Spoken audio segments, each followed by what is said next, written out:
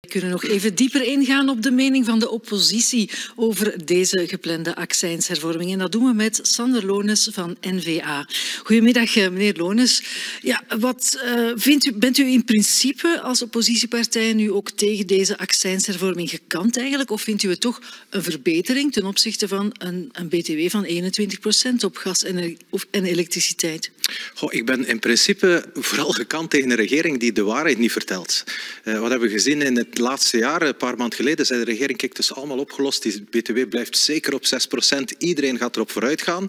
En vandaag blijkt dat dat niet het geval is. Die accijnzen zullen verhogen. Uh, wat heeft de regering nog beloofd? Dat dat allemaal budgetneutraal zal zijn. De premier stond hier in de Kamer, zei in een antwoord op een vraag van Peter de Rover, onze fractieleider, geen paniek, de schroef voor de begroting is budgetneutraal. Vandaag blijkt dat er een gat geslaan wordt in de begroting van minstens 750 miljoen euro. Het wordt toch wel eens belangrijk dat wij klaarheid krijgen. Wat ligt er precies op tafel? Wat zal de regering doen? Zal zij haar beloftes nakomen?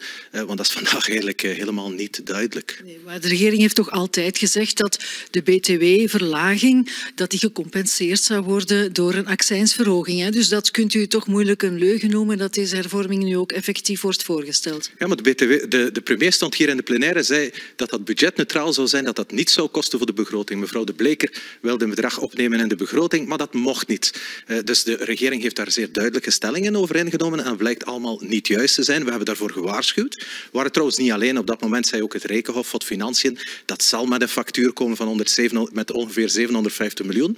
Wat zei de premier hier in het parlement? Dat is allemaal niet juist. Meneer Lones, u moet daar niet naar luisteren. Meneer Lones, wat blijkt nu? Minister van Financiën van Peterheim komt met een bedrag 750 miljoen.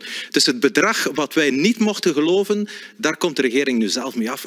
Hier klopt van alles niet. Er worden politieke spelletjes geweest. Dat is uh, onzekerheid die in zekere tijden uh, echt, echt uh, niet zou mogen passen. Maar in de begroting had mevrouw De Bleker 1,3 miljard ingeschreven. En dat is het ook niet. Hè. Het zit er tussenin. Het, is, het zal de begroting nog altijd 760 miljoen kosten, uh, die accijnshervorming, omdat uh, BTW van 21 procent natuurlijk meer opbrengt voor de begroting. Ja, ook dat klopt niet, want er wordt een gat geslaan in de begroting van 750 miljoen en accijnzen van 500 en wat miljoen, samengeteld 1,3 miljard euro. Mevrouw De Bleker had gelijk, de oppositie had gelijk, meneer De Croo niet. En dat is nu voor iedereen duidelijk. Ik kan het toch niet samentellen? Die uh, 550 miljoen wordt uh, betaald op de facturen van de mensen. Hè.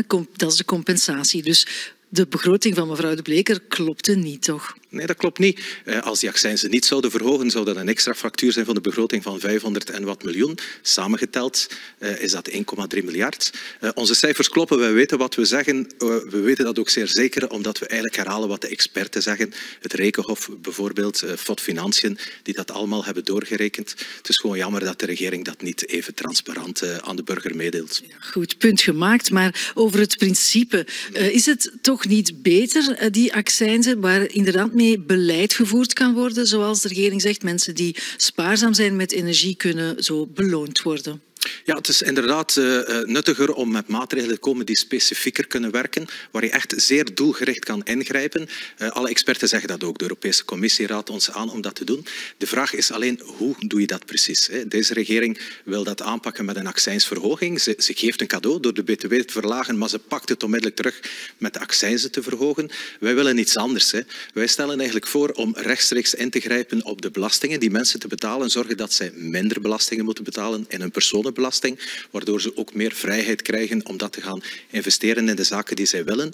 Wil men dan meer energie verbruiken, dan kan men dat. Wil men besparen en zijn centen gebruiken voor iets anders, dan kan men dat ook meer vrijheid geven aan mensen, controle geven over hun eigen inkomsten in plaats van uh, een, accijns, uh, een accijnsverhoging te doen nadat je zogezegd een cadeau gedaan hebt met een btw-verlaging. Ja, interessant, zo'n belastingverlaging voor mensen die belastingen betalen natuurlijk. Mensen met een heel laag inkomen die hebben daar dan wel weer niks aan. Maar die hebben het sociaal tarief, dat nu trouwens heel hard is uitgebreid door deze regering. En dat is het verschil inderdaad. Hè. Deze regering beloont de mensen die niet werken. Zij krijgen meer voordelen en die uitkeringen gaan altijd maar omhoog.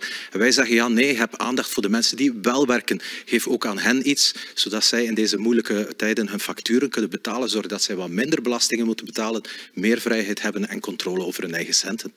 Oké, okay, hartelijk dank eh, voor het interview, Sander Lones.